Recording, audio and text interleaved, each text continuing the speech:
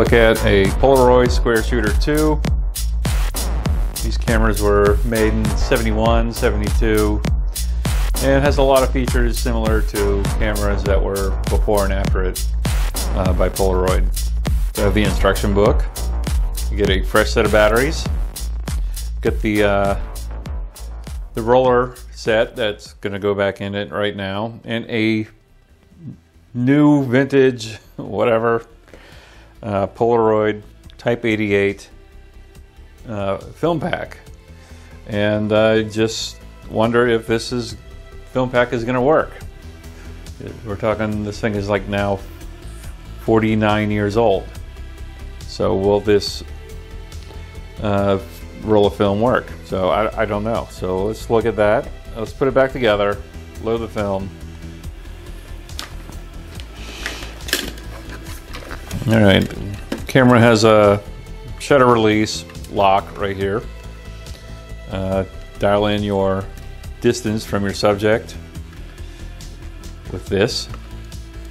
There is a cube flash shoe on the side. This probably requires some discussion. This is the cold clip, which instructions tell you that if it's under 65 degrees, take this clip, hold it under your arm, warm it up, and use that to store your exposed film while it develops. So, it's being held together by a, looks like duct tape. It's not even holding together anymore. There are some other instructions on the back for basic camera use.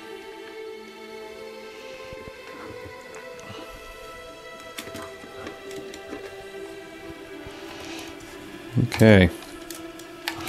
So there it says keep rollers clean. Yes, I already took this out and cleaned it. There was some uh, chemical smudges on there, so that may have to, you know, be cleaned from time to time if you're using this camera often. So let's see if I can put this back in with any bit of ease here.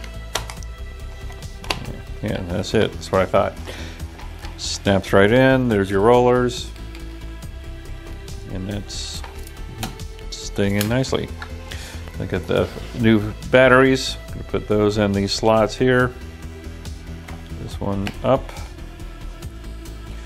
That one down. And then push this whole thing back. And then it snaps in. And that's it. Just for fun, we'll take a snap picture. You see that shutter moving quickly. Okay. That was it. Just going to put the camera away for a moment and open this ancient pack of film.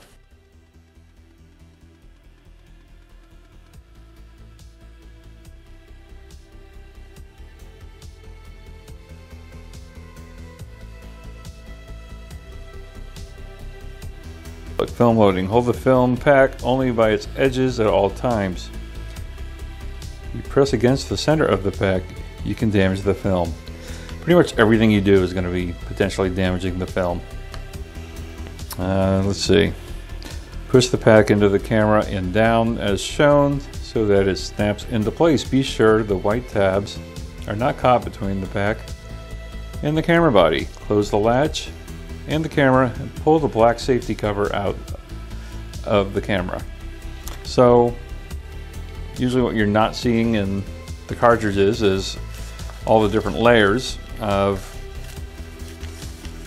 film just stacked on top of each other. See instructions on the other side. Tear open. Use empty bag to hold litter. Yeah, that's forward thinking. Okay. There's already a problem. Look at all the chemicals that are down here. So this may be a short video.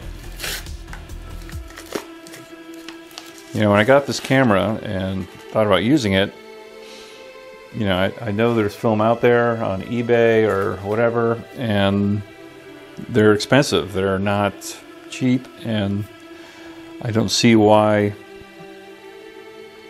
uh, they would be any different than what I have right here. So I'm going to clean this up a little bit off camera. I'm going to put the film in anyway. So we're still going to go through with this and try it, but I will try and clean that up and it may take some time to dry. So saying bye for now. So it took a while, but I got the safety cover pulled out. Um, and exposes the tab for your first exposure. Uh, what I did not get to show you is this. This handle is meant for tension. So while you're holding this, usually standing up, and now with an overhead camera over you, and you pull out the, the tab. A good time isn't just a thing you buy or rent or borrow.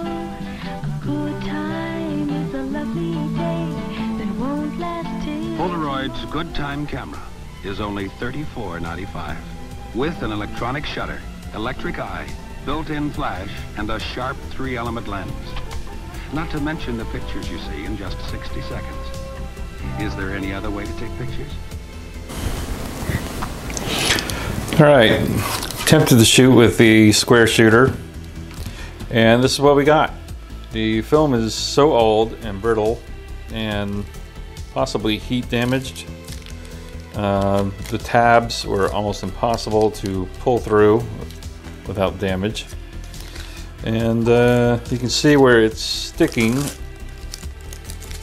onto the film itself, the, cover.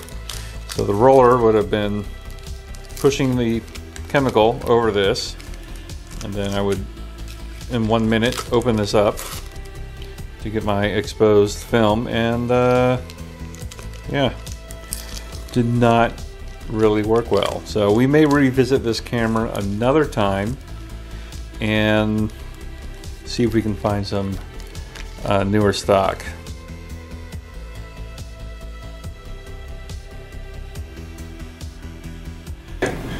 So after doing some research, I have decided not to pursue purchasing any film for this. It looks like it's going to be too expensive. Uh, there's one.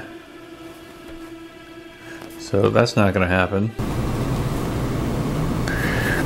There's some examples on eBay like two sealed boxes. Well, you just saw what I just did. I had a sealed box. So my confidence in any of these being any better than what I just had is, uh, is not very high right now. So with that in mind, I will close this out. Had fun looking at the camera itself. However, I'm not gonna waste any more money on on film and especially dated film like this, where the same problem may happen. I could get rust, I could get uh, uh, leaky chemicals. So there you go. That's my Square Shooter 2 video. Have a great day.